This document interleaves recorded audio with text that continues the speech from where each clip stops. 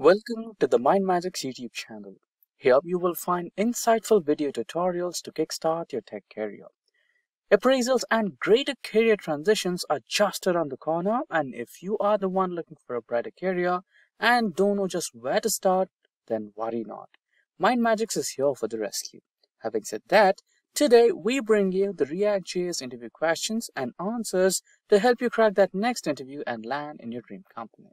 Beyond the basics, we want to set you up for interview success. So, we take our list of questions seriously.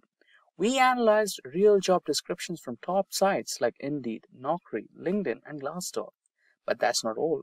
We went a step further, surveyed and talked directly with experienced developers, top recruiters, and hiring managers. This insider knowledge means our questions and answers are laser focused on what you'll actually face in your interview. We categorized freshers, intermediate, and experienced levels. Each level will have a theory and scenario based tricky tech questions where you will be involved and imagined in a real time scenario. With thorough preparation and these top 30 interview questions backing you up, you're standing well beyond halfway through your quest to ace that interview. So grab your notepad and get ready to transform yourself into a React.js interview rockstar. That said, if these are the type of videos you'd like to watch, then hit that like and subscribe buttons and the bell icon to get notified. Now, without further delay, let's get started with the top 30 React.js interview questions and answers. Now, let's begin with the beginner level interview questions and the category will be general and most frequently asked theory-based interview questions. So the first question, what is React.js?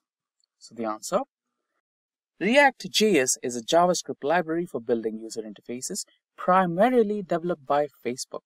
It allows developers to create reusable UI components and efficiently update and render them using some virtual DOMs. Now, the second question. What are the main features of React? Now, the answer for this question is as follows. Some key features of React include virtual DOM optimized performance, component-based architecture, one-way data binding, JSX syntax, and lastly, React hooks for state and side effects. Now, let's proceed further. We have the third question. What is JSX and why is it used in React?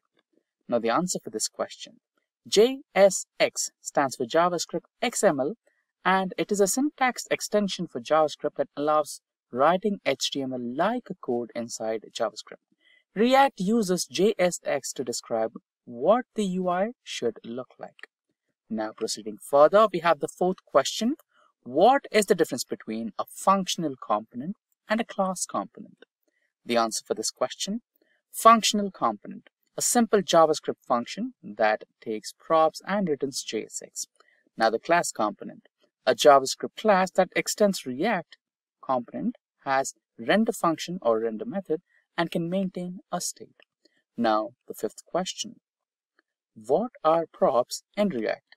Now the answer for this question, props or short for properties are read-only inputs passed in components to make them dynamic. Now Let's move to the next category, which is scenario-based questions in the beginner level. Now the sixth question, how would you create a button component that changes color when clicked? Now the answer for this question. So use useState to manage the color and update it on a button click. Now I'll be displaying a code segment and that code segment will help you understand how exactly it is done in real time. So this is the code snippet. So let me walk you through this. We use the useState hook to maintain the button's color. Initially, the color is set to blue according to the code, and when the button is clicked, the onClick event updates the color state to red color. If it was blue or back to blue if it was red. Now, the style property dynamically changes the button's background color based on the current state. So this is what the code does. Now proceeding further, we have the seventh question. The seventh question is about create a component that accepts a username as a prop and displays as a greeting. Again, this is also a simple code segment which can be explained as follows. So we create a functional component that accepts a username prop. The component renders a greeting message using the username prop value. The props are passed from the parent component to this component. Now the flow of execution. When this component is used in another component, a username is passed as a prop. The component displays hello username which is completely customizable dynamically and no prop is provided. Nothing is displayed after hello. So this is how the code snippet works. Proceeding further, we have the eighth question in the list. What will be the output for the following code? So these are also some of the types of questions that you may want to focus on. Most of the interviews come up with a code snippet and you have to explain the function or the flow of that particular code. In our case, we have this particular code snippet and let me help you understand what exactly is the code flow. The component initializes a count state with 0. Clicking the button updates count by 1 using setCount function or setCount method. The updated count value is displayed inside the button. So the flow of execution is as follows. Initially, the button shows number 0 and when clicked, the setCount function counts plus 1 and updates the count. The component re-renders and the updated count has been displayed. Now, let's proceed with the ninth question in the list. You create a simple list component. How would you do it using the map function? Now here is our answer. Now the answer is the component receives an items array as a prop. It uses map function or map method to iterate over the array and generate a list of elements.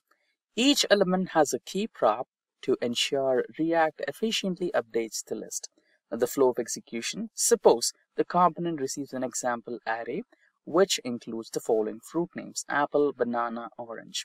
Map method or map function loops through each item and returns an element. The list is displayed dynamically, right? Now, let's proceed with the 10th question in the list. How can you conditionally render a component in React? So, the answer for this question is a simple ternary operator.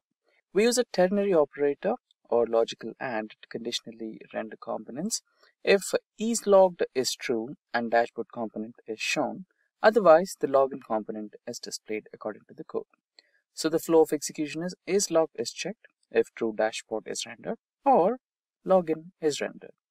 Now let's proceed into the next category of questions which cover the intermediate level of questions. Now in that the first step or the first part is generally or most frequently asked questions. So the first one in it and the count will be 11. Is the difference between a state and props?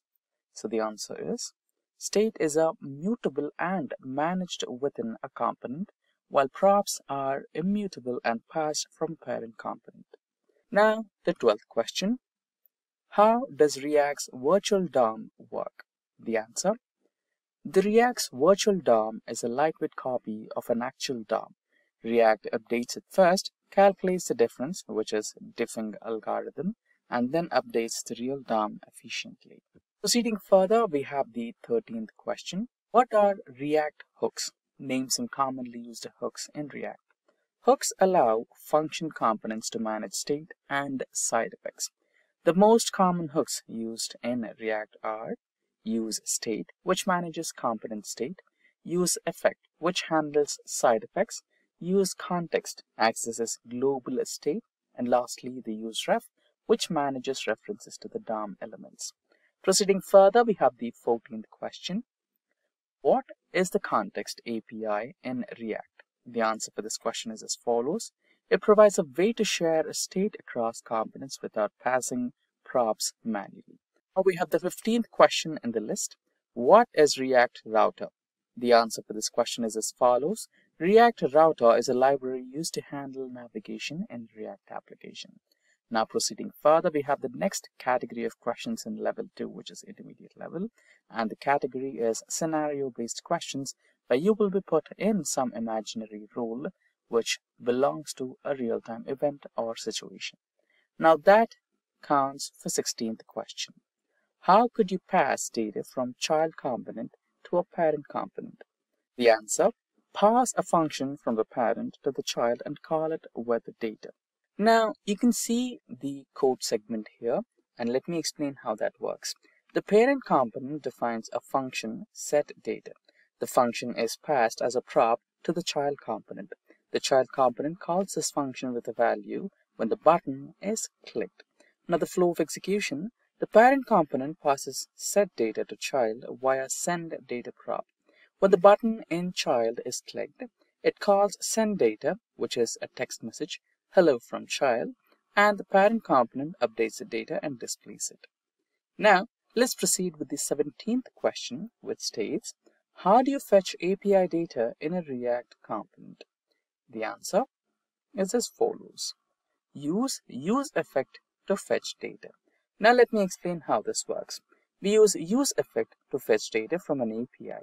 Fetch method or fetch function makes a request and set data updates the component with the response. Now let me explain the flow of execution. The use effect runs when the component mounts. The API calls is made and waits for a response. When data is received, set data updates the component. Now proceeding further, we have the 18th question. Let's say you need to prevent unnecessary re-renders of a component. How can you do it? Now the answer for this question is as follows. We use React Memo for functional components and should component update for class components. Now, let me take you to the 19th question. So here is as follows. How do you handle form submission in React? Now the answer for this question is as follows. Here you can see a quick small snippet of a code segment and let me explain you how this exactly works. So a controlled input field is used with useState. On form submission, the entered value is displayed. Now let me take you through the flow of execution. The user types in the input field. The set name updates the state on every keystroke and third one will be clicking the submit button which triggers handle submit function or method preventing the default refresh. And lastly, the entered name is displayed in the alert. Now let's proceed to the 20th question in the list. What is lazy loading in React? Now the answer for this question is it allows components to be loaded only when needed using a function which is called as react.lazy function or method and suspense. Now we are moving to the third level which is advanced level and in that the first category is general or most frequently asked questions. Let's go through them. The first one, which is the 21st one, is what is reconciliation in React? The answer to this question is as follows. Reconciliation is a process that React uses to update the DOM efficiently by comparing the virtual DOM with the real DOM. Now, let's go ahead with the 22nd question in the list. What are higher order components or HOCs? The answer for this question, a pattern where a function takes a component and returns a new enhanced component is called as HOCs. Now the 23rd one in the list. What is the significance of use callback and use memo? The answer, use callback memorizes functions while use memo memorizes the values. Now the 24th question in the list, how does server-side rendering or SSR work in React? The answer, SSR renders components on the server and sends the HTML to the client. 25th question in the list, what is React Fiber? The answer, React Fiber is the new reconciliation algorithm in React that improves performance.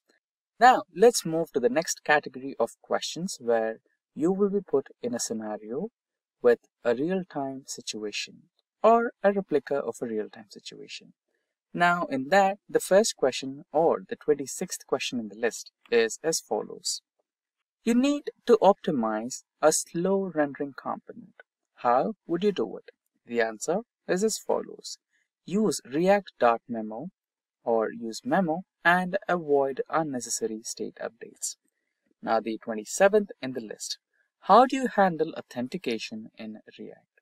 The answer, use JWT tokens stored in local storage and use context providers. Now the next one is a code snippet. How would you handle a memory leak in React component? The answer, you can see a code snippet on the screen, but yet let me explain you how this code snippet works. We will be using the use effect for cleanup and to remove event listeners or intervals. Now let's understand the flow of execution for this particular code snippet. When the component mounts, set interval starts running. When the component unmounts, the cleanup function runs, stopping set interval function which was previously running. And this prevents memory leaks by ensuring the interval is cleared. Now the 29th question in the list. How can you implement infinite scrolling in React? The answer is as follows. Use an intersection observer or listener for scroll events. This should help you. Now, the 30th and the last question in React.js interview questions and answers is as follows. How do you debug performance issues in a React application? The answer is as follows. Use React Developer Tools Profiler API and use unnecessary renders. And that calls for the end of the session on the top 30 React.js interview questions and answers. Should you have any queries regarding any of the topics covered in this session, or if you require the resources that we used in the session, like the list of questions and answers, code snippets, or the PowerPoint presentation, or apart from these questions, if you're looking for some extra questions, then please do let us know in the comment sections below, and our team of experts will be happy to assist you at the earliest. Until next time, thank you for watching and stay tuned for more from MindMajix.